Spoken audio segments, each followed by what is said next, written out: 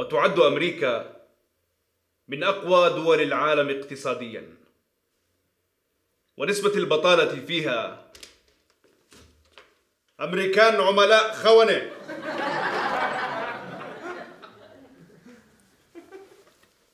تشي جيفارا بدي إياك بموضوع.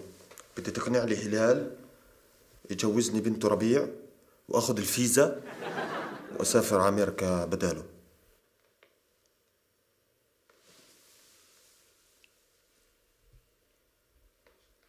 ليش بتفكر هي مستاهلة كل هالتفكير ماشي يا رفيق بس بشرط.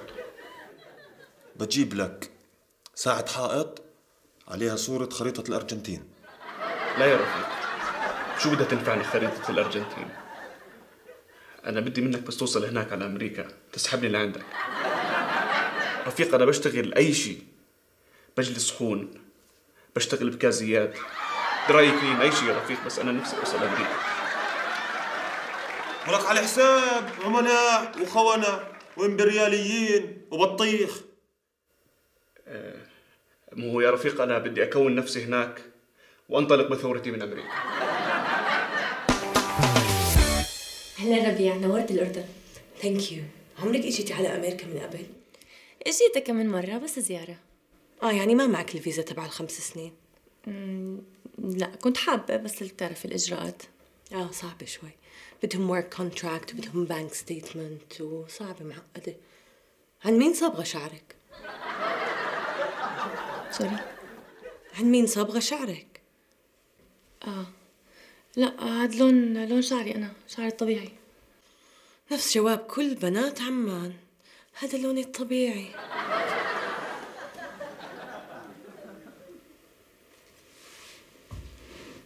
على أساس أمريكية ومتحضرة ومحامية. Excuse me? اكسكيوز حالك. من أول امبارح وأنت بتزتي حكي. شو مالك هديل؟ هدي نسيلي إياها. نهيل. مين نهيل؟ نهيل. اللي بدها تقلبك خريف. يا ربيع إذا ضلت قاعد هون.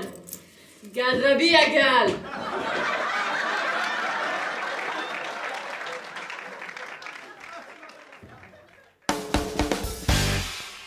مشان الله يا رفيقة خذيني معك على أمريكا. مستعد أعمل هناك أي شيء بس لا تحكي للنزلاء بس مش أنت المفروض بتكره أمريكا؟ إن شاء الله الله يأخذني إذا بكره أمريكا. أنا بكرهها أنا أنا رفيقة بعشق أمريكا بموت عليها. تسري بدمي أمريكا. طب إيش عندك سيرتيفيكت؟ شهادات. أو إيش بتقدر تشتغل هناك؟ أنا بعمل أي شيء يا رفيقة. أنا بشتغل بكازية بنظف حمامات. أنا أنا بعرف أمثل كمان يا رفيقة. بس إذا في عندكم أحزاب يسارية أنا ما عندي أي مشكلة. طب اسمع بتبعت لي الابلكيشن الاوراق وبنشوف شو بصير. أنا أصلا بعرفش ليش الكل بحب أمريكا. دولة رأسمالية إمبريالية متعفنة خالته خالته بنت عمو هلال شو خالته هاي؟ أنا أصغر منها.